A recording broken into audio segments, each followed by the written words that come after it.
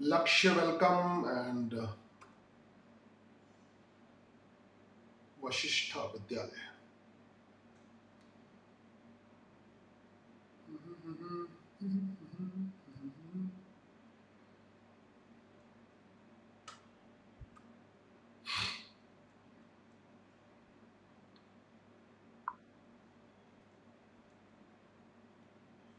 Welcome Keshavi. Keshavi.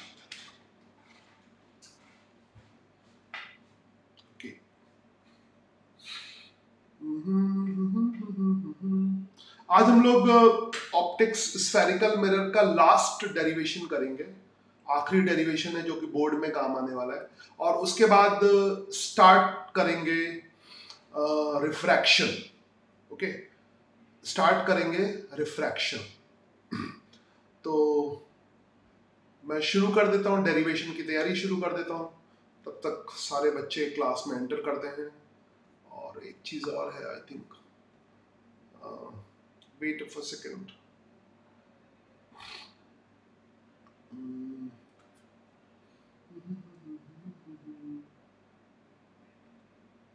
good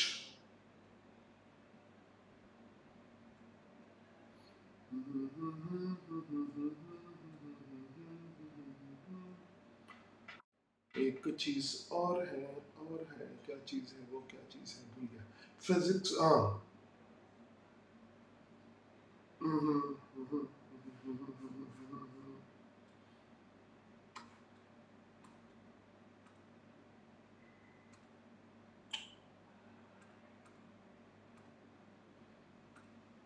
और आज से मतलब कल से रिफ्लेक्शन शुरू हो जाएगा इसके, हीरल के बाद कौन आ गया? मितेश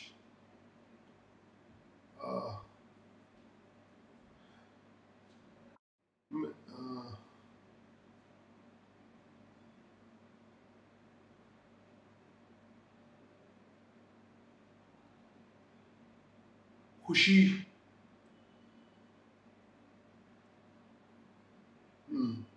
इसमें ये खुला हुआ फालतू का इस तरह से। ज़रूरत तो पड़ेगी इसकी। Wait for second wait for second wait for second okay मैं डेरिवेशन की तैयारी कर लेता हूँ। आई गए सब लोग। और मगर पहले एक छोटी सी बात याद दिलाता हूँ। फिर से जो व्हाट्सएप पे मैंने एक क्वेश्चन पोस्ट किया था मितेश को छोड़ के किसी ने नहीं किया। पता नहीं किसी को आया नहीं या किया नहीं, सिर्फ़ खुशी ने भी किया था। जस्ट मैं देखता हूँ। तो उस पर ध्यान दो कम से कम, एक दो क्वेश्चन देता हूँ, उसको तो कर लो। तो उसको जो क्वेश्चन एक आध में सिलेक्ट करके देता हूँ, वो ज़रूर किया करो। बाकी प्रैक्टिस करते रहो, किसी बुक से करते रहो, मगर जो मैं क्वेश्चन देता हूँ, उसको ज़रूर किया करो। ठीक है? तो वो थोड़ा सा एक कंसेप्चुअल टाइप का होगा। क्योंकि मैं तभी दूँगा जो थोड़ा अच्छा क्वेश्चन होगा। तो कंसेप्चुअल टाइप का होगा। तो मेरे पास जो स्क्रीन है उस पर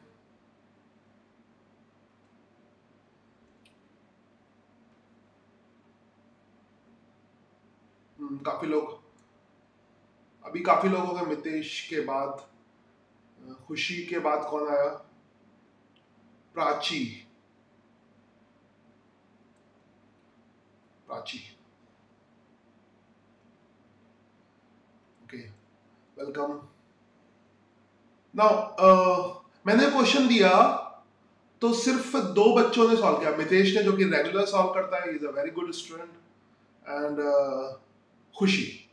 देखो uh, मैं काफ़ी टाइम से पढ़ा रहा हूँ करीब बीस साल। शुरू में जब पढ़ाता था स्टार्टिंग में तो नॉर्मली जो मेरा मेथड है पढ़ाने का, इस तरह से जो है, यही सब चीज़ें मैं क्लास में भी करता था टेस्ट करता था वगैरह वगैरह। तो मेरे को पहले से ही पता होता था कि कौन से बच्चे सेलेक्ट होंगे मैं जो नाम बता देता था कि ये ये सेलेक्ट होंगे। तो वो होते ही थे जेई मेंस में। तो उस हिसाब से अभी भी तुम्हें नाम, अभी चार बच्चों, चार या पाँच बच्चे, उनके नाम है उनका तो पता होना है। जैसे एक हो गया, मैं इसको देख के बता सकता हूँ। कोई ऐसा कुछ रॉकेट साइंस नहीं है। एक सेकेंड इसमें कोई ऐसा नहीं है कि मैं ज्योतिषी वगैरह हूँ। बट वर्क करने की स्टाइल से पता लग जाता है। तुम्हें यहाँ से पता लग जाएगा, जो मतलब जितने लोग आई थिंक मुझे तो वो, जो लोग रेगुलरली परफॉर्म करते हैं। चलो, ये व्हाट्सएप नहीं दिखाता हूँ मैं तुम्हें। आई थिंक मुझे याद भी है, प्रियांशी, खुशी, मितेश और एक का कृष का भी कभी कभी आता है। ये चार चार या पाँच, मितेश, प्रियांशी, खुशी। आई थिंक मैं किसी को भूल तो नहीं गया। ये चार, पाँच नाम है, ये ऐसा कुछ नहीं है। ये मुझे, मेरे पास हमेशा आते रहते हैं, जो आंसर करके पोस्ट करते हैं। तो अगर तुम एफर्ट सही करोगे, तभी अच्छी तरह से होगा। तो प्रियांशी का और खुशी का और इनका तो रेगुलर आता है मेरे पास। ठीक है। क्रिश का भी आता है। तो ये तीन चार लोग हैं, ये पहले से पता होता है कि ये ये लोग प्रॉपरली तो जिनके नाम आते हैं तो जो एफर्ट करेंगे ऑब्वियसली शुरू से एफर्ट करोगे तो आराम से होगा। तो बाकी लोग भी ट्राई करना शुरू करो, इस एफर्ट में पार्टिसिपेट करो।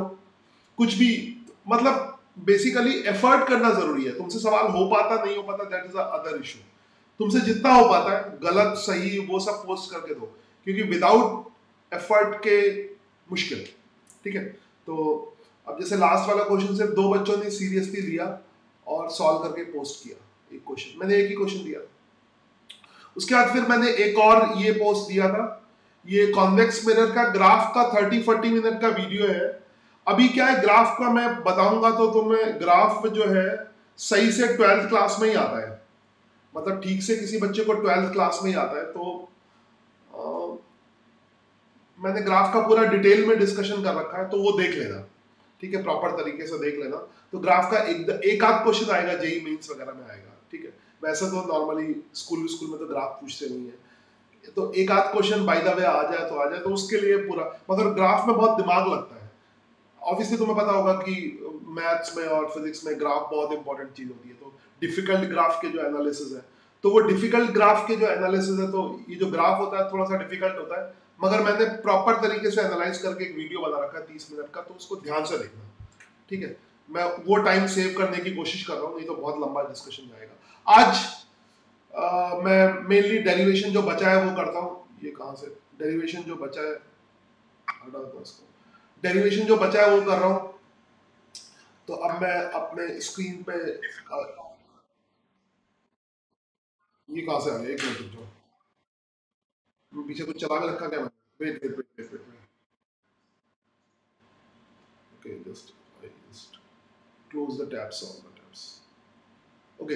हो गया. अब, हम एक और वो लाते हैं और डेरिवेशन करते हैं. ऑफ़ डेरिवेशन तो सब लोग एक आध क्वेश्चन जो मैं देता हूँ, उसको एफर्ट करना शुरू करो. और फिर बाद में इस तरह से टेस्ट वेस्ट भी शुरू करेंगे ऑनलाइन टेस्ट का. ऑनलाइन टेस्ट प्लस डिस्कशन वो भी कैसा होगा बताऊँगा मैं तुम्हें कुछ दिन बाद, पहले पढ़ लो तुम ढंग से। तो ये एक लास्ट डेरिवेशन बचा था हाइट ऑफ़ इमेज वाला डेरिवेशन तो मैं लास्ट हाइट ऑफ़ इमेज वाला डेरिवेशन करने जा रहा हूँ। ओके नाउ तो उसका डायग्राम पहले बना लेता हूँ। ऑब्वियसली दो तीन दिन से हम वही कर रहे हैं कॉन्केव मिरर बना रहे हैं। तो फिर से एक कॉन्केव मिरर बनाता हूँ। अभी तक तो प्रैक्टिस हो गई होगी तुम्हारे ढंग से। तो एक कॉन्केव मिरर है मेरी भी प्रैक्टिस वही है ढंग से बनाने की अब टाइम नहीं लगता। ठीक है। हम्म, सीधा हो गया। ठीक है। बनाते कैसे हैं? एक्सेस बनाया सबसे। ये बार बार रोज मेरे से होता है ये चीज़। पता नहीं कैसे हो जाता है। ये रोज मेरे से एरर होती है वाली। फिर बारह मुझे करना पड़ता है चलो। ये बीच में हो गया। ओके अब मैं पेन सेलेक्ट कर लेता हूँ। हाँ। और मुझे पता ही लग पाया कि ये एरर होती क्यों है। I don't know now listen axis बनाया मिरर के बाद सीधे एक्सेस बनाओगे।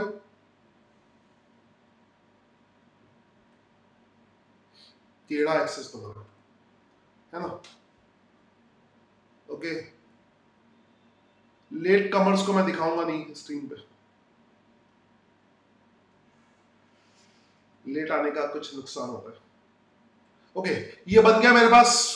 कॉन्केव मिरर तैयार हो गया।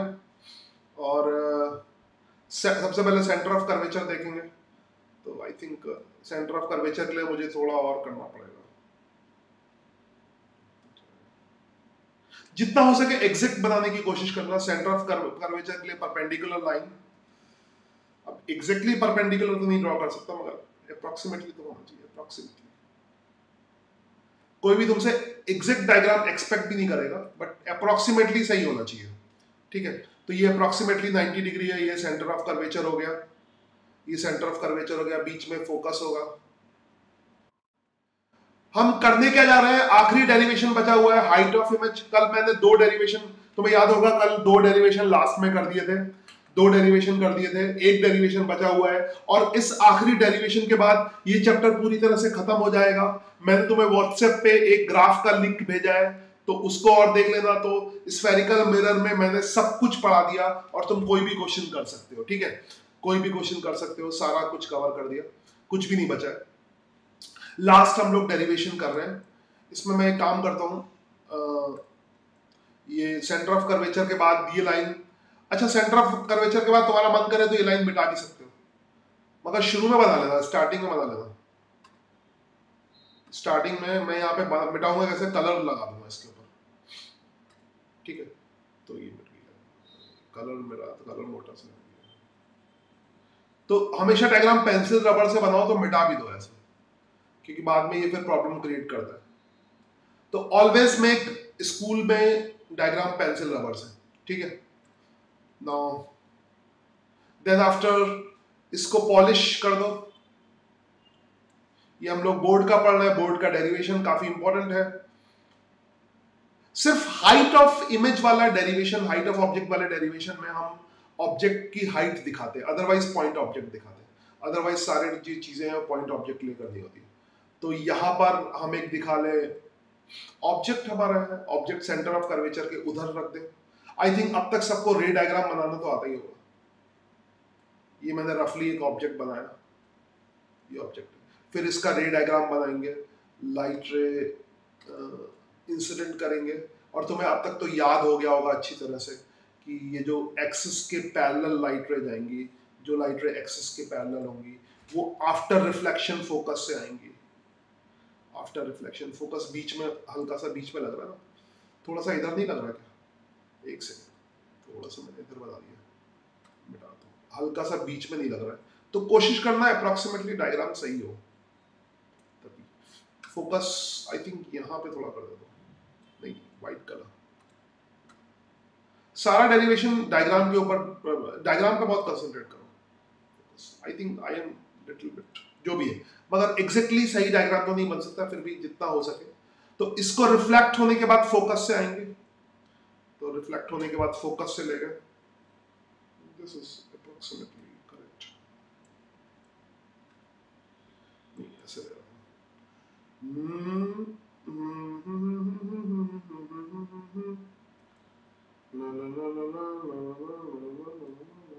आई थिंक मैंने सही बताया ठीक है।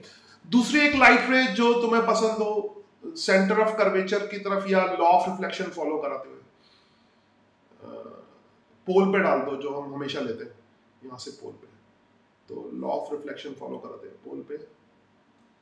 एंड देन ऑब्वियसली तो मैं रटा हुआ है कि इमेज यहाँ पे बनेगी तो वो पहले से ही इंश्योर कर लो। तो इसमें, इसीलिए इसके जस्ट तो वो एफ़ और सी के बीच में बनेगी, थोड़ा बहुत इधर उधर कर सकते हो। एग्जैक्टली सी से पहले तो आइडिया तो है ही तुम्हें कैसी क्या बनती। तो इस तरह से उल्टी इमेज बनती है। I'm doing last derivation, height of image वाला। तो ऐसे उल्टी इमेज बन गई। तो कॉन्केव मिरर के लिए कॉन्वेक्स मिरर के लिए भी ऐसे ही कर सकते हैं। तो मैं सब कॉन्केव के लिए मैंने किए हैं। तो तुम कॉन्वेक्स के लिए खुद कर लेना। क्योंकि हो सकता है कि पर्टिकुलर मिरर देके पूछ ले। मगर मेथड सेम होगा। मेथड सेम होगा। मेथड में कोई फ़र्क नहीं होगा। You have to use these बस यही वाले मेथड यूज़ करोगे। अब डिफ़िकल्ट कुछ भी नहीं है। खाली इसमें ऐसा बड़ा दिखाना, बाकी सब में पॉइंट ऑब्जेक्ट दिखाना होता है, इसमें एक्सटेंडेड तो यहाँ पर ये हो गया height of object sign convention use कर लेना, क्योंकि पता है सब कुछ हमें कि कौन सी चीज़ गिवन है। अननोन तो है नहीं, यहाँ पे कुछ भी अननोन नहीं है। तो हाइट ऑफ़ ऑब्जेक्ट ऊपर होगी प्लस हाइट ऑफ़ ऑब्जेक्ट होगी। और ये छोटू सा माइनस हाइट ऑफ़ ऑब्जेक्ट ठीक है? डायग्राम थोड़ा सा मेरा गड़बड़ है, मगर ठीक है डायग्राम लिखता हूँ। ये थीटा है।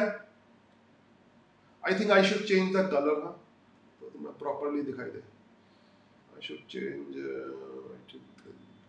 ये रंग लेता हूँ ये थीटा और ये थीटा ये थीटा है तो ये थीटा होगा। लग नहीं रहा है। हमेशा तुमसे लगेगा भी नहीं, क्योंकि डायग्राम एग्जैक्ट हम नहीं बनाते। तो ये थीटा ये थीटा है। ये पता है। तो खैर ठीक है, फिर ये 90 डिग्री हो गया।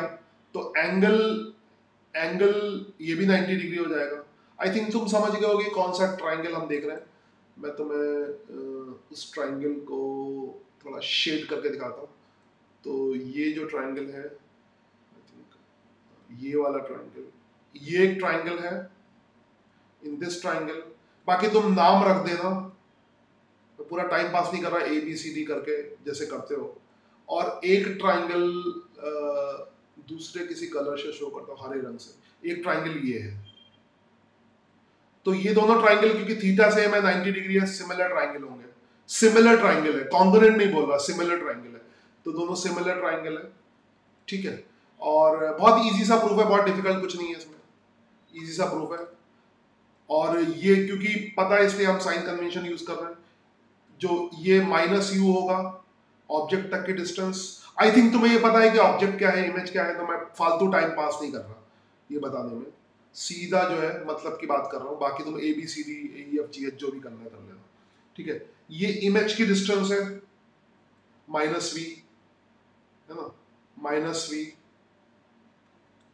क्रिश इतना लेट आया अभी आ रहा है। जब पूरा क्लास का आधी क्लास चली गई खैर ये अपलोड हो जाएगी। अभी वो रेगुलर क्लास होती तो उसमें तो, तो अपलोड ही नहीं होती है।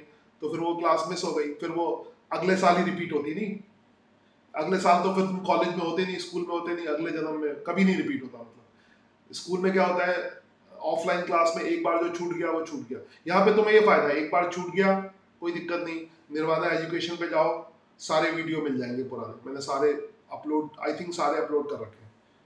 कुछ एक आध, इस संडे को बाकी सही कर दूँगा, जो एक आध नहीं है, वो सब सब डाल दूँगा। तो ये माइनस वी हो गया। बस सिमिलर ट्राइंगल की प्रॉपर्टी लगा लो और कुछ नहीं तो क्या हो जाएगा? ऊपर की तरफ़ प्लस हाइट ऑफ़ ऑब्जेक्ट तो ये side this side upon this side this side upon this side मतलब जो कौन सा मर्जेंटा कलर है मर्जेंटा तो height of object H O upon height of image नीचे की तरफ़ है माइनस एच है ना? यहाँ पर साइन कन्वेंशन ध्यान देना। हमें एच ओ और एच आई की वैल्यू नहीं पता है। मगर ये पता है ये किधर होगा? तो साइन कन्वेंशन यूज़ करोगे। साइन कन्वेंशन यूज़ करने के लिए वैल्यू पता होना ज़रूरी नहीं है। साइन कन्वेंशन यूज़ करने के लिए तुम्हें यह पता होना चाहिए कि ये चीज़ किधर होगी। अगर तुम्हें पक्का हो कि ये चीज़ इधर होगी, है ना? अगर तुम्हें पक्का हो कि ये चीज़ इधर होगी तो यूज़ करो साइन कन्वेंशन, कोई दिक्कत नहीं। तो प्लस एच हो गया, माइनस एच ही नीचे की तरफ़ हो गया, और फिर फिर फिर फिर फिर फिर फिर यहाँ पर क्या है? आ, फिर इसकी पहले बड़ा वाला ट्राइंगल लिया था तो उसकी बड़ी वाली साइड क्या हो जाएगी? माइनस यू और फिर छोटू वाला ट्राइंगल लिया था माइनस वी तो ये दो मिनट में आ गया। इसको उल्टा कर दो मैंने जैसा भी। Height of image upon height of object is equal to minus V upon U मैंने क्या लिखा? माइनस यू अपॉन वी लिखना चाहिए ठीक है तो ये उल्टा हो जाएगा minus V upon U hence proof magnification का फॉर्मूला प्रूफ हो गया. हाइट ऑफ़ इमेज अपॉन जिसको हम अभी तक तो कई बार यूज़ कर चुके हैं. तो सारे प्रूफ खत्म. Reflection finish reflection is over ठीक है? तो रिफ्लेक्शन इज़ ओवर तो मैं लिख देता हूँ. रिफ्लेक्शन में मैंने सब कुछ पढ़ा दिया। Reflection over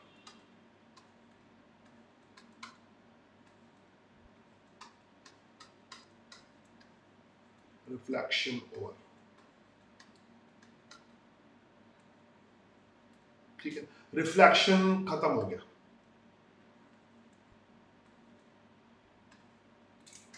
okay okay? Now अब हम स्टार्ट करेंगे रिफ्रैक्शन रिफ्लेक्शन ओवर हो गया।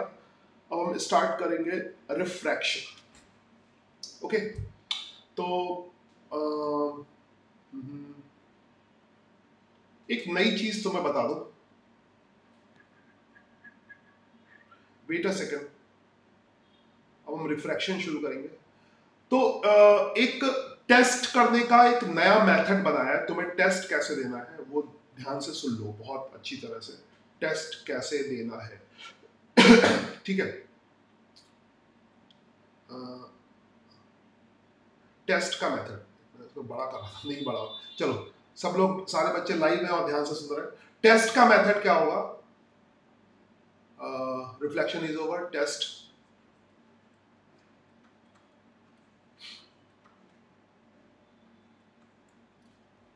ठीक है। टेस्ट करने का मेथड देखना। टेस्ट होगा तुम्हारा। रिफ्लेक्शन का टेस्ट होगा। आई थिंक रिफ्लेक्शन प्रिपेयर है तो आज से टेस्ट शुरू कर दूँगा रिफ्लेक्शन का टॉपिक रिफ्लेक्शन का। तो रिफ्लेक्शन का टेस्ट कैसे होगा? टेन क्वेश्चन दस क्वेश्चन व्हाट्सएप पे डब्ल्यू एप दस क्वेश्चन व्हाट्सएप पे। एग्जैक्टली exactly समझ लो। हम्म, साढ़े आठ तक क्लास होती।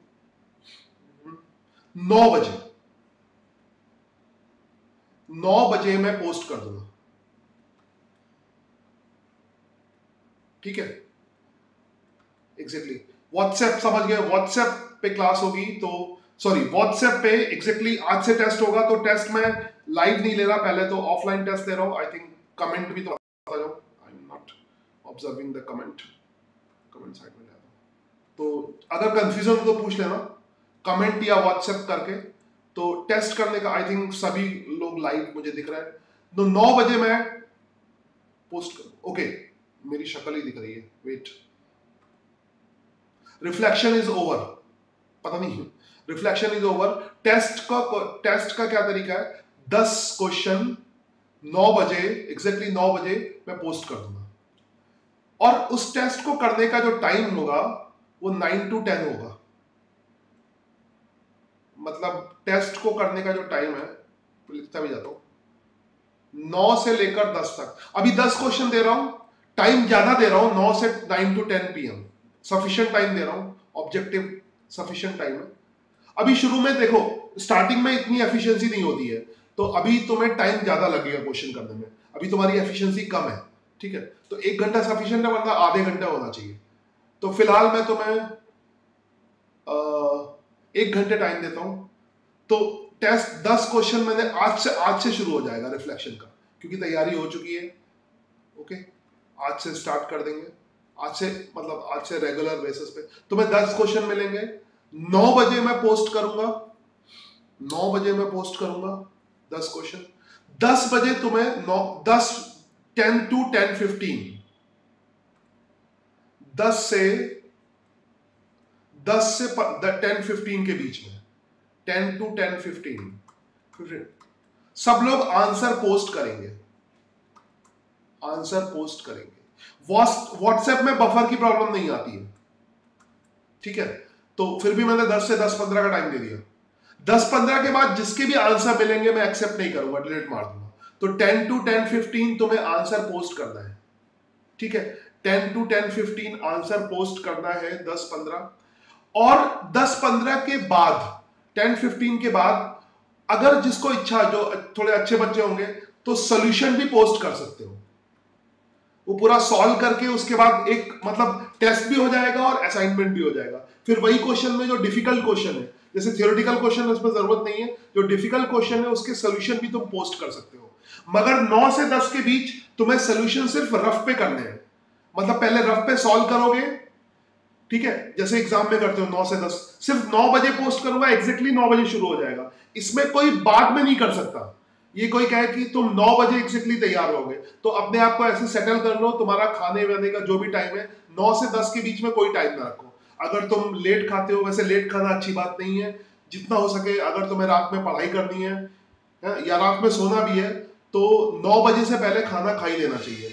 वैसे तो शाम को सात बजे से पहले खाना चाहिए। रात में खाना नहीं खाना चाहिए। कई लोग रात में खाना रात में खाना अच्छा नहीं होता है। तो मैं तो रात में बिल्कुल नहीं खाता हूँ, दिन में ही खाता हूँ।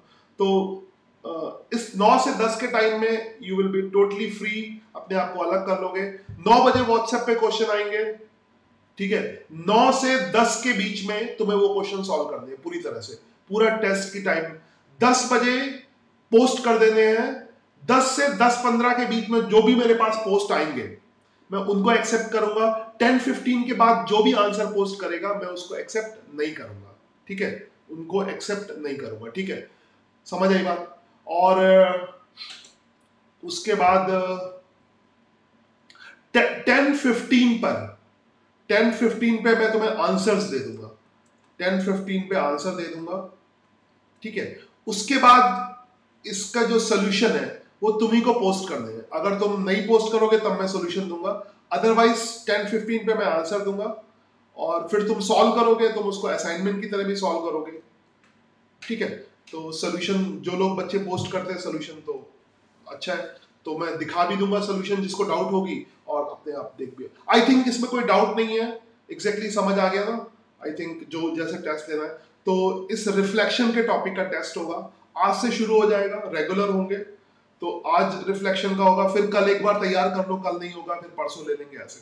फिर जैसे जैसे टॉपिक बढ़ते जाएँगे, तुम्हारे उस टॉपिक के भी क्वेश्चन आते जाएँगे।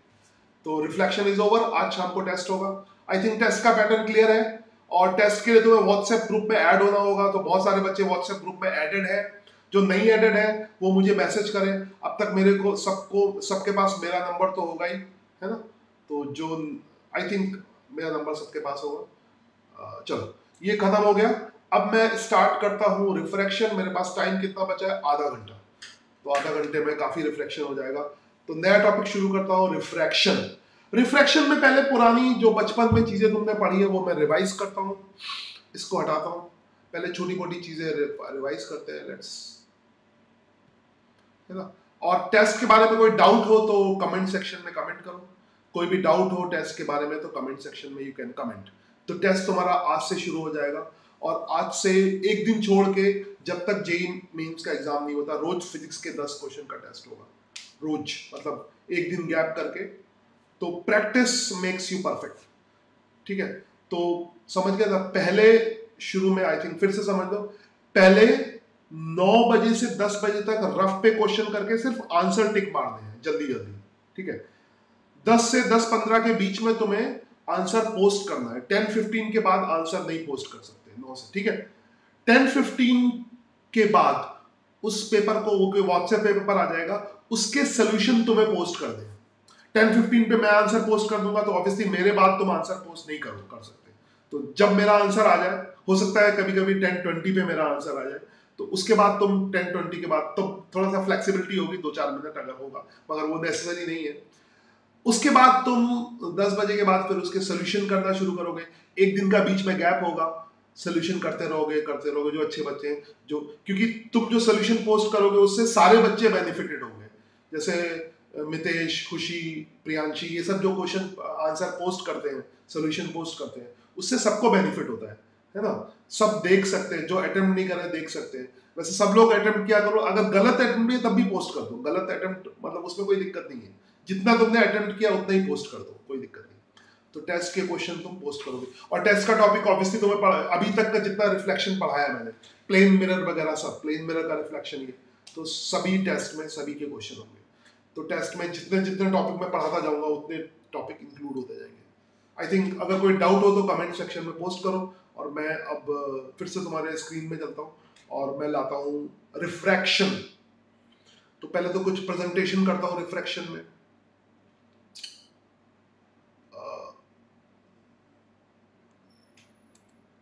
रिफ्रैक्शन में पहला प्रेजेंटेशन है absolute and refractive relative refractive index का, जो तुमने शायद छोटी क्लासेस में पढ़ा हो।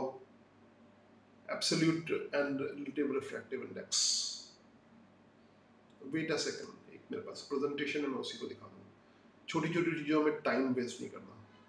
Okay okay. तो स्टार्ट करते हैं absolute and relative refractive index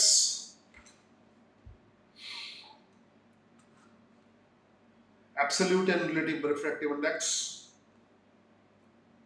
now मैं अपने लेक्चर्स में स्कूल जो मेरे लेक्चर्स हो रहे हैं, उसमें school level NEET level JEE level सब कवर कर लेता हूँ। बस, थोड़ा सा कभी कभी जेई के कुछ अच्छे क्वेश्चन जब आते हैं तो वो छोड़ देने वाले मतलब अगर कोई बच्चा ऐसा नीट के लिए तैयारी करेगा तो वो मुझे कमेंट सेक्शन में लिख दे कि हम नीट के लिए तैयारी कर रहे हैं। तो कुछ पोर्शन उसको स्किप करना होगा, है ना? जैसे अगर एक घंटे का वीडियो है तो 10-15 मिनट का स्किप करना होगा। तो वो मुझे कमेंट करके पूछ सकता है। लेट्स स्टार्ट नया टॉपिक पुराना टॉपिक फिनिश हो गया, मैं थोड़ा सा पानी पी लेता हूँ।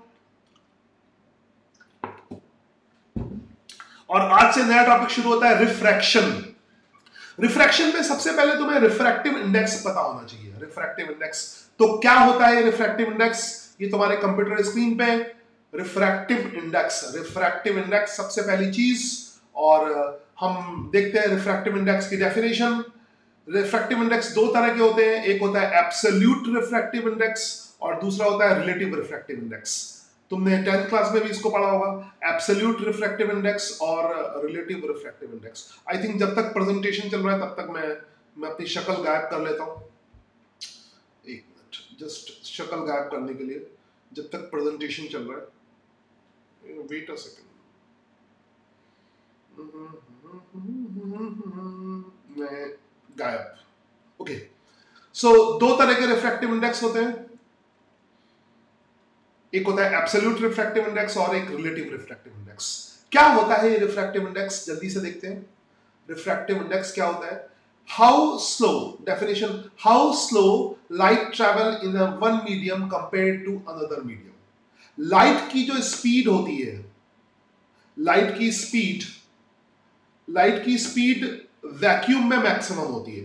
वैक्यूम में लाइट की स्पीड होती है थ्री इंटू टेन की power eight metre per second जैसे ही लाइट किसी और मीडियम में एंटर करती है, उसकी स्पीड कम हो जाती है, ठीक है? किसी भी मीडियम में लाइट एंटर करेगी, उसकी स्पीड कम हो जाएगी। तो रिफ्रैक्टिव इंडेक्स की डेफिनेशन है how slow I think easily how slow light travel in one medium compare to another medium तो रिफ्रैक्टिव इंडेक्स बेसिकली इस बात को बताता है कि लाइट दूसरे मीडियम में कितना रिड्यूस होगी। तो आगे बढ़ते हैं। दिस इज़ इसका फॉर्मूला हो गया एनजीवी जैसे ग्लास का रिफ्रैक्टिव इंडेक्स वैक्यूम के रिस्पेक्ट में। ठीक है? ग्लास का रिफ्रैक्टिव इंडेक्स वैक्यूम के रिस्पेक्ट में अगर 1.5 है तो इसका मतलब क्या है? जैसे तुम्हें ग्लास का क्वेश्चंस में दिया होगा ग्लास का refractive index N G V refractive index of glass तो व्हाट इज़ मीनिंग इसका मतलब क्या होगा? What is meaning of this term तो देखते हैं इसका मतलब क्या होगा। इट इज़ 1.5 इसका मतलब है कि ग्लास में जो लाइट की स्पीड है, वो वैक्यूम में लाइट की स्पीड, वैक्यूम में लाइट की स्पीड होती है सी वैक्यूम इधर आ रहा है, वैक्यूम में लाइट की स्पीड की 1.5 टाइम डिवाइड में हो जाती है। मतलब 1.5 टाइम रिड्यूस हो जाएगी। तो इसका मतलब समझो कि अगर ग्लास का रिफ्लेक्टिव इंडेक्स 1.5 है तो इसका मतलब ये हो गया कि ग्लास में जो लाइट की स्पीड होगी, वो सी की सी क्या होता है? वैक्यूम में लाइट की स्पीड। सी होती है वैक्यूम में लाइट की स्पीड और वैक्यूम में लाइट की स्पीड कांस्टेंट होती है। वैक्यूम में लाइट की स्पीड चेंज नहीं होती है। वैक्यूम में लाइट की स्पीड होती है थ्री इंटू टेन की power eight metre per second ये फिक्स होता है। इसको एक्सपेरिमेंटली निकाला गया तो वैक्यूम में लाइट की स्पीड होती है थ्री इंटू टेन की power eight metre per second किसी भी मीडियम में जब लाइट एंटर करती है लाइट की स्पीड चेंज हो जाती है। रिफ्रैक्टिव इंडेक्स इस बात को बताएगा कि उस मीडियम में लाइट की स्पीड कितनी है। तो कंसेप्ट को बहुत अच्छी तरह समझना।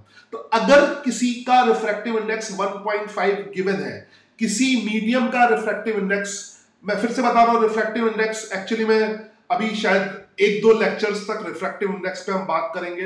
रिफ्रैक्टिव इंडेक्स के बेसिक डिस्कशन करेंगे और रिफ्रैक्टिव इंडेक्स और स्नेल्स लॉ पे कुछ अच्छे अच्छे क्वेश्चन बहुत अच्छे क्वेश्चन मैंने सिलेक्ट किए, वो करेंगे। मगर पहले कंसेप्चुअली तुम्हें इवन कहीं भी है बोर्ड का भी करना है, कुछ भी करना है जेई नीट सब कंसेप्ट पहले क्लियर होने चाहिए, ठीक है? बिना इसमें कुछ लोग कंफ्यूजन होता है कि जेई नीट किसका करवा रहा हैं, ये बोर्ड का है। बहुत कंफ्यूजन होता है कि आप जेई नीट का पढ़ा रहे हो कि बोर्ड का कब पढ़ा रहे हो, ठीक है? तो ये याद रखो, बिना बोर्ड क्लियर किए हुए जेई नीट हो ही नहीं सकता। जिसके, क्योंकि जेई नीट में तो इलेवन ट्वेल्थ का आता है ना, जिसको इलेवन ट्वेल्थ के बेसिक कंसेप्ट नहीं आते, वो जेई नीट कर कैसे कर सकता है? समझ आई बात? तो उसके बिना तो कुछ भी नहीं हो सकता। तो अगर कोई खाली ये कहता है कि हम जेई नीट एडवांस का बिना बोर्ड का कराए हुए नहीं। ये तो बहुत इंटरलिंक होता है। और जितना तुम जेई नीट करोगे, उतना बोर्ड का और स्ट्रांग होगा। समझ आई बात? ये आपस में कनेक्टेड है। क्योंकि जेई नीट में तो बोर्ड का ही सिलेबस आता है ना, जो तुम्हारा इलेवन ट्वेल्थ का सिलेबस है।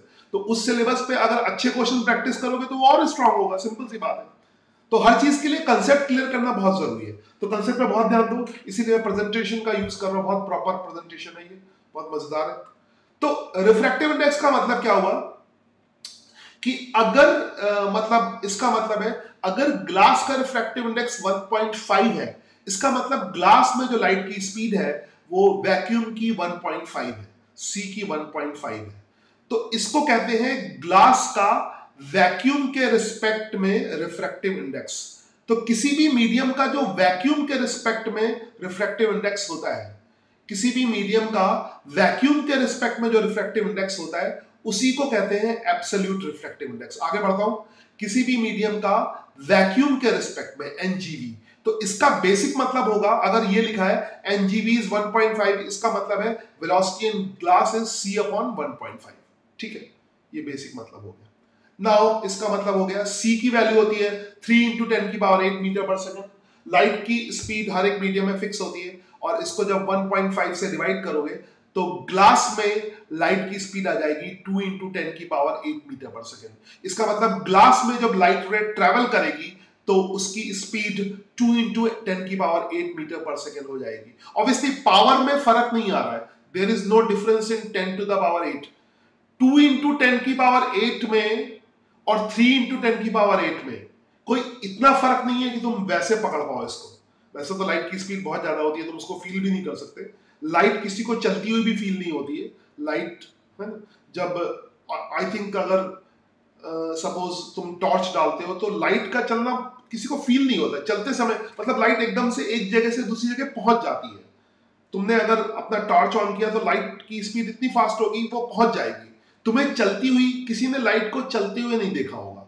ठीक है? तो हम लोग चलते हुए लाइट को नहीं देख सकते। हाँ उसका एनिमेशन वगैरह देख सकते हैं मगर वो रियल में नहीं देख सकते। तो जब कोई एनिमेशन होते हैं यूनिवर्स वगैरह के दिखाते हैं, अगर एनिमेशन फॉर्म में तो वो दिखा सकते हैं एनिमेटिक फॉर्म में। मगर इतनी स्पीड को तुम चलते हुए ऑब्ज़र्व नहीं कर सकते। ठीक है? तो ये तुम्हें फील नहीं होगा, मगर जो क्वांटम मैकेनिकली जिसको कहते हैं, वो वैल्यू कम हो जाती है। तो बहुत ज़्यादा कम नहीं होती पावर तो सेम है। पावर तो सेम है तो ये नहीं कह सकती बहुत ज़्यादा कम हो गई है। उतनी है, मगर वैल्यू में थोड़ा बहुत फ़र्क आता है। खैर तो ग्लास में लाइट की स्पीड कितनी होगी? टू इंटू टेन की power eight metre per second तो ये वैक्यूम के रिस्पेक्ट में रिफ्लेक्टिव इंडेक्स हो गया। इसी तरह से वाटर का अगर लिखते हैं, किसी अदर मीडियम के रिस्पेक्ट में। वाटर अभी वैक्यूम नहीं है। यहाँ पर वैक्यूम मीडियम लिया था। ओ का मतलब है कोई भी अदर मीडियम क्योंकि not it is not necessary हम वैक्यूम ले। वैक्यूम का लेना नेसेसरी नहीं है। कोई और मीडियम भी ले सकते हैं। तो वाटर का किसी और मीडियम के रिस्पेक्ट में। तो इसका मतलब क्या होगा कि अगर इसका रिफ्लेक्टिव इंडेक्स टू दिया है तो इसका मतलब है कि उस उस मीडियम किसमें वाटर में। वाटर में जो लाइट की स्पीड है वाटर में, वो अदर मीडियम में, किसी अदर मीडियम में स्पीड पता है। जैसे यहाँ पे वैक्यूम वैक्यूम की जगह वैक्यूम में सी लिया था, यहाँ पे कोई भी अदर मीडियम है। तो कोई भी अदर मीडियम में स्पीड कितनी है? वी नॉट और इसको टी टू से डिवाइड कर दो। तो ये इसका बेसिक मतलब होता है। तो उस मीडियम में लाइट की स्पीड इस वाले मीडियम में लाइट की speed divided by refractive index जो वैल्यू है उससे डिवाइड कर दो। इतनी देर में अटेंडेंस देते हो अभी एक बच्चे का अटेंडेंस आया है जब क्लास खत्म होने वाली है ठीक है? क्लास खत्म के टाइम पे अटेंडेंस दे रहे हो। ये वो वाला जो सिस्टम है लेट कमर्स हमेशा हो, हर जगह होते हैं। ऑनलाइन में भी लेट कमर्स होते हैं ऑफलाइन में भी। अभी क्लास खत्म होने वाली है दस पंद्रह मिनट बचे ठीक है? आते ही जल्दी आया करो। ना फ़िलहाल इसमें तो अपलोड हो जाएगा तो देख सकते हो। है ना निर्वाणा एजुकेशन पे अपलोड कर दूँगा। तो मेरे चैनल का भी प्रमोशन हो जाएगा। ना ध्यान से देखो आ, उस मीडियम में यानी इस मीडियम में जो स्पीड है लाइट की वो अदर मीडियम में डिवाइडेड बाय टू हो जाएगी। तो ये इसका बेसिक मतलब हुआ रिफ्रैक्टिव इंडेक्स का। ठीक है? तो ये हो गया रिलेटिव रिफ्रैक्टिव इंडेक्स जब रिफ्रैक्टिव इंडेक्स वैक्यूम के रिस्पेक्ट में होता है तब उसको कहते हैं एब्सोल्यूट रिफ्रैक्टिव इंडेक्स अदरवाइज़ कहते हैं रिलेटिव रिफ्रैक्टिव इंडेक्स ठीक है? तो आई थिंक तुम्हें ये क्लियर हो गया होगा। ये वैक्यूम के रिस्पेक्ट में एब्सोल्यूट और किसी और मीडियम के रिस्पेक्ट में। यहाँ पर वी नॉट किसी और मीडियम के रिस्पेक्ट किसी और मीडियम में वेलोसिटी डिवाइडेड बाय टू ऐसा नाउ वैक्यूम इतना कॉमन है, यहाँ पे फिर से लिखता हूँ जल्दी। वैक्यूम इतनी कॉमन चीज़ है। मतलब एब्सोल्यूट रिफ्लेक्टिव इंडेक्स में वैक्यूम इतना क्योंकि अगर एब्सोल्यूट रिफ्लेक्टिव इंडेक्स लेना है तो वैक्यूम तो हमें लिखना ही लिखना है, ठीक है? वैक्यूम इतना कॉमन है कि उसको कभी कभी लिखते ही नहीं मगर अगर रिफ्रैक्टिव इंडेक्स में जो कुछ लिखा ना हो तो इसका मतलब ये नहीं कि कुछ है नहीं, है ना? कुछ है नहीं। तो यहाँ पर मीडियम है। इसका मतलब हुआ जो लाइट रे है वो वैक्यूम से ग्लास में आ रही है। इसका मतलब है लाइट रे अदर मीडियम से वाटर में आ रही है। समझना यहाँ से लाइट रे वैक्यूम से ग्लास में आ रही है। और ग्लास में वेलोसिटी इतनी है। ठीक है? इसको ठीक से समझना। ओके तो ये हो गया। तो वैक्यूम को अक्सर लिखते ही नहीं है। अगर वैक्यूम है तो लिखते नहीं है। तो जैसे इसका अगर लिखा है वाटर का रिफ्रैक्टिव इंडेक्स 1.33 है। तो इसका मतलब है लाइट रे वैक्यूम से वाटर में आ रही है। लाइट रे वैक्यूम से वाटर में आ रही है और वाटर में जो स्पीड हो जाएगी, वो निकाल सकते हो। दैट इज़ वाटर में अगर स्पीड निकालोगे, ठीक है? वाटर का अदर मीडियम के रिस्पेक्ट में ही लिया था, ये तो टू है, ये ऐसे निकालेंगे। ठीक है, इसको एब्सोल्यूट रिफ्रैक्टिव इंडेक्स कहते हैं। इसमें वाटर का, अगर वाटर में स्पीड निकालोगे तो क्या हो जाएगा? सी अपॉन 1.33 ठीक है, इसको हम एन डब्ल्यू नहीं लिख सकते। इसको हम एन डब्ल्यू नहीं लिख सकते। Okay? So this is absolute refractive index ये फिर एक आ गया।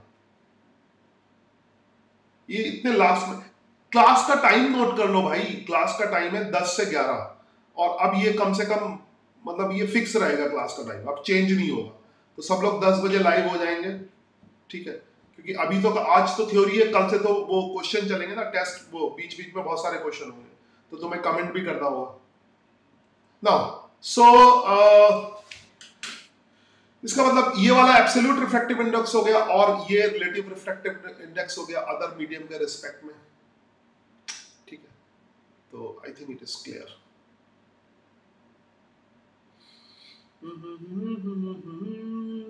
तो तो ये तुम्हें समझ में आया एब्सोल्यूट रिफ्रैक्टिव इंडेक्स और रिलेटिव रिफ्रैक्टिव इंडेक्स 1045 मतलब अभी और पढ़ सकते हैं हम लोग। एक और प्रेजेंटेशन है रिफ्रैक्टिव इंडेक्स के ऊपर, उसको भी देख लो।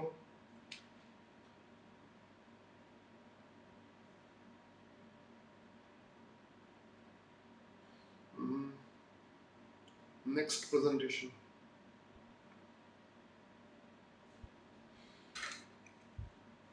this is over अभी दो, एक, दो, अभी तो थ्योरी चलेगी, बस थोड़ी देर तो थोड़ी देर उसके बाद फटाफट क्वेश्चन करते हैं। थ्योरी हम थोड़ा जल्दी खत्म करने की कोशिश करते हैं ताकि क्वेश्चन में ज़्यादा टाइम लगे। नेक्स्ट प्रेजेंटेशन है expression of relative reflective index expression of relative reflective index तो इसको देखते हैं। क्या है एक्सप्रेस एक्सप्रेस कैसे करेंगे?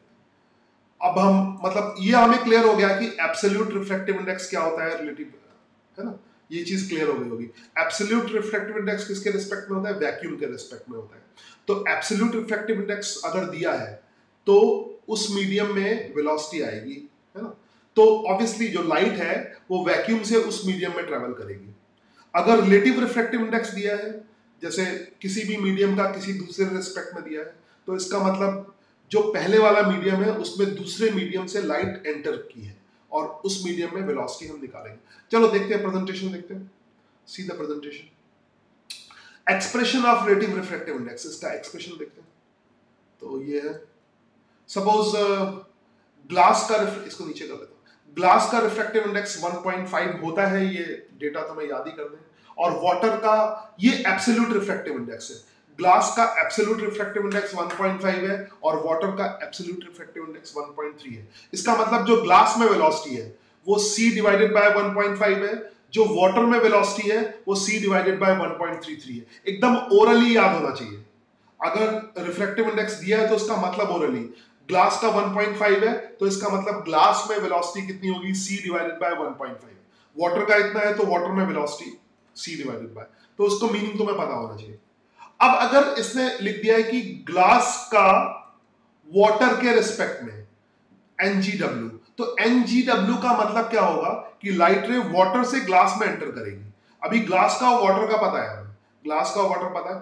अब अगर एनजीडब्ल्यू है तो लाइट रे ग्लास से वाटर में एंटर करेगी। ठीक है? तो यू कैन से कि वेलोसिटी निकालेंगे फॉर्मूला बन गया। रेफरेंस जिस रेफरेंस मीडियम से वेलोसिटी आती है डिवाइडेड बाय एन ठीक है? इस फॉर्मूले का यूज़ करते हैं, ये फॉर्मूला याद कर लो। जिस रेफरेंस यहाँ पे जैसे एनजीडब्ल्यू में रेफरेंस मीडियम कितना है क्या है? वाटर है। और खाली वाटर लिखा है तो रेफरेंस मीडियम क्या है? वैक्यूम है। वैक्यूम से उसमें लाइट एंटर कर रही है। तो जस्ट आगे देखो। नाउ एनजीडब्ल्यू की वैल्यू अगर एक्स के बराबर है तो वेलोसिटी इन ग्लास कितनी हो जाएगी? वेलोसिटी इन ग्लास कितनी हो जाएगी? दैट विल बी क्योंकि वाटर से लाइट एंटर की है तो velocity in water divided by X अगर तुम्हें ग्लास का वाटर के रिस्पेक्ट में रिफ्रैक्टिव इंडेक्स दिया है, बहुत अच्छी तरह समझना इसको। एकदम दिमाग में refractive index is the main thing तो ये दिमाग में बहुत अच्छी तरह बैठना चाहिए, बहुत अच्छी तरह बैठना चाहिए, है ना? तो ग्लास का अगर ग्लास में जो वेलोसिटी है, वो कितनी हो जाएगी? V W divided by X ठीक है ग्लास में वेलोसिटी हो जाएगी V W divided by X अच्छा तो हम x को ऐसे लिख सकते हैं, x रिफ्रैक्टिव इंडेक्स से कोई भी वैल्यू हो सकती है। अभी हमने x करके लिख लिया वैल्यू भी लिख सकते हैं।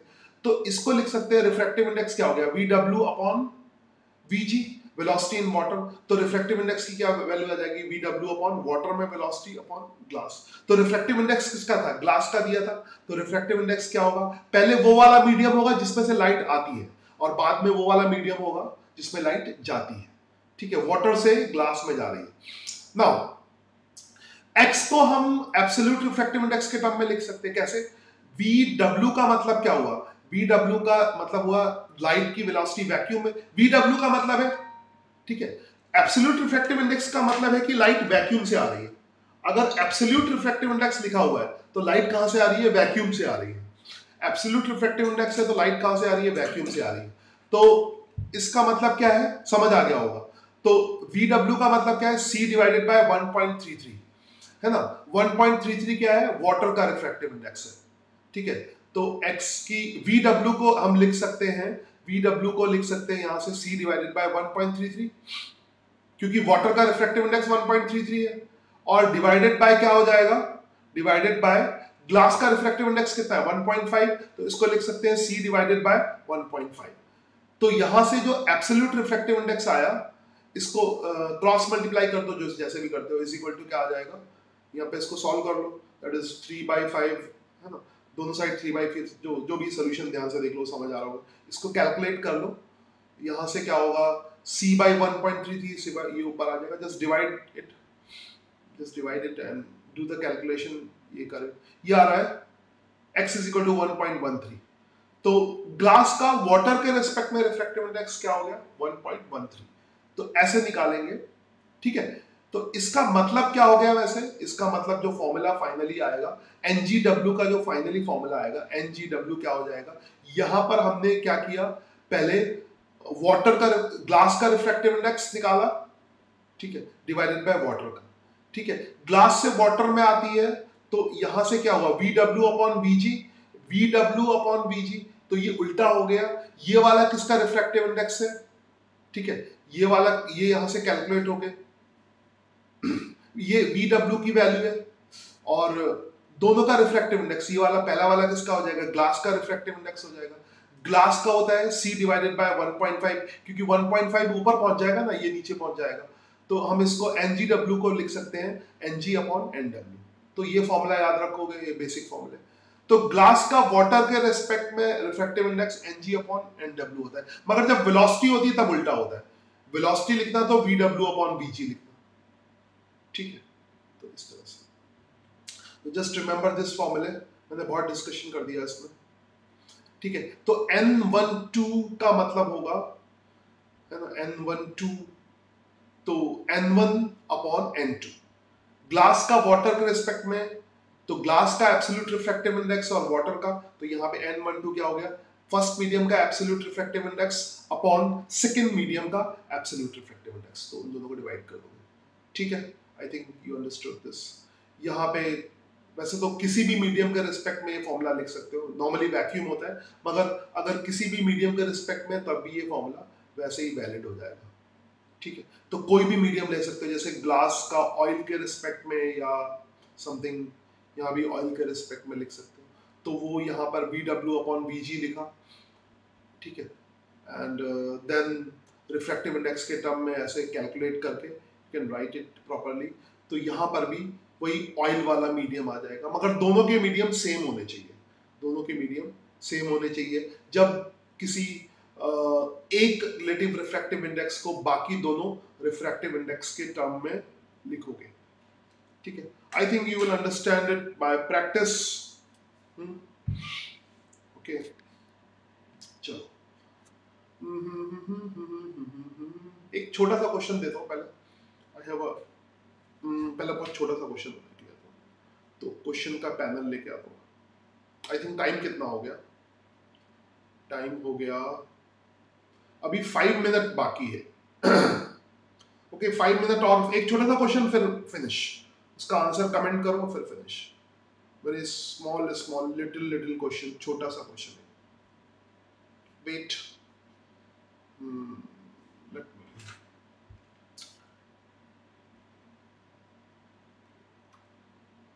just answer me.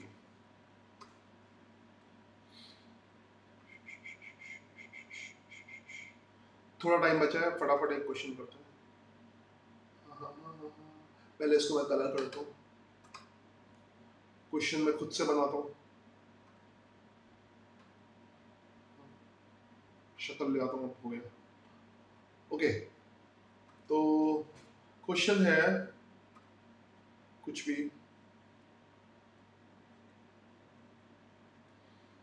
ठीक है, अगर हमारे पास तीन मीडियम है, ठीक है one two three one two three तीन मीडियम है। Okay we have three mediums first medium medium one ऐसे लिखता हूँ। वेट मीडियम वन का refractive index absolute refractive index N one है। मीडियम टू का रिफ्रैक्टिव इंडेक्स एन टू है। ठीक है? मीडियम वन का रिफ्रैक्टिव इंडेक्स तो एन वन टू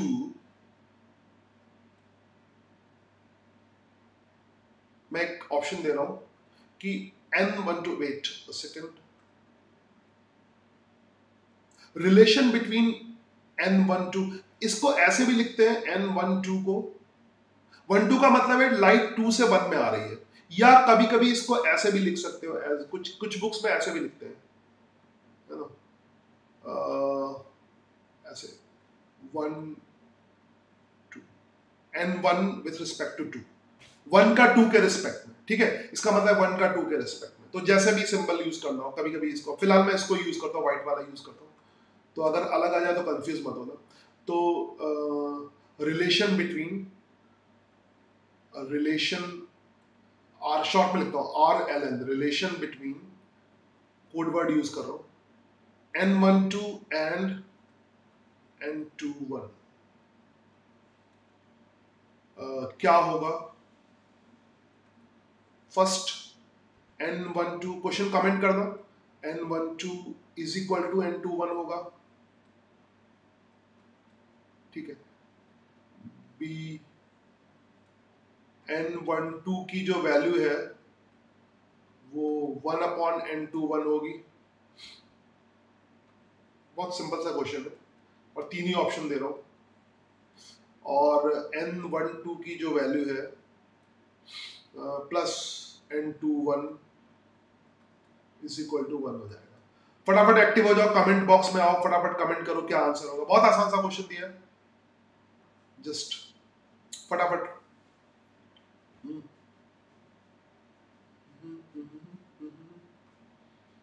तो इनमें से कौन सा रिलेशन होगा? N one two is equal to n two one के बराबर होगा n one two n two one के उल्टा होगा। ए और बी ऑप्शन आई थिंक सभी लोग लाइव है, फटाफट आंसर दो ए बी या C first question question one लिख के, पहला ही क्वेश्चन है वन लिख के ए बी सी कमेंट करो। वन लिख के ए बी सी कमेंट करो।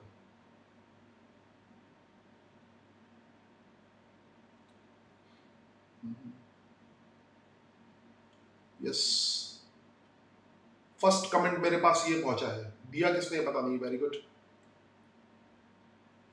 B this is the first comment this is second comment third comment सबको बी लग रहा है। चलो।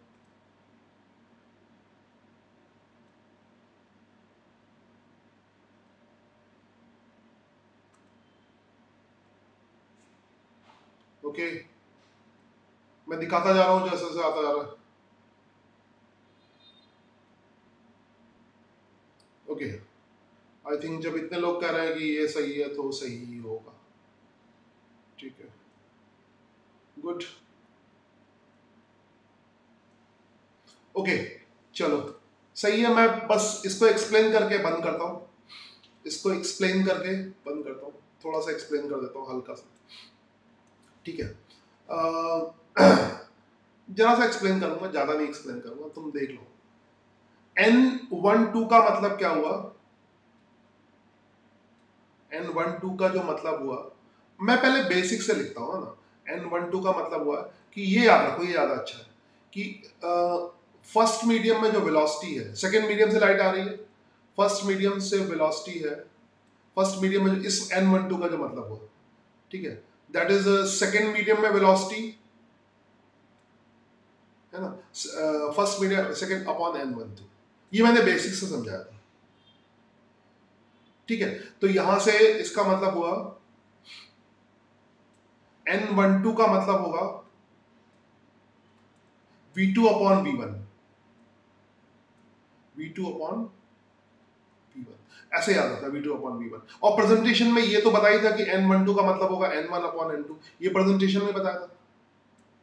ठीक है? ऑब्वियसली दूसरा वाला फिर ऐसा लिख सकते हो। फिर ऑब्वियसली एन टू वन का मतलब क्या होगा? एन टू वन का अगर एन वन टू का मतलब है v two upon v one तो एन टू वन का मतलब होगा v one upon v two ठीक है? या n two upon n one जो लिख लो। एन टू और n one absolute reflective index है। बस, इनको अगर मल्टीप्लाई करोगे n one two into n two one तो ऑब्वियसली ये कर दो, ये क्या वेलोसिटी का टर्म में ले लो। N one two is equal to क्या हो जाएगा? V two upon v one very easy है वैसे। इंटू ये मैं खाली फॉर्मेलिटी के लिए कर रहा हूँ। तुम्हें समझ तो आ गया होगा। चलो, ये दोनों कैंसिल हो गए। तो सभी का आंसर सही है B very good perfect answer and perfect answer के बाद time is over I think time is up it is 11 1 okay, time is over now. Finish the stream.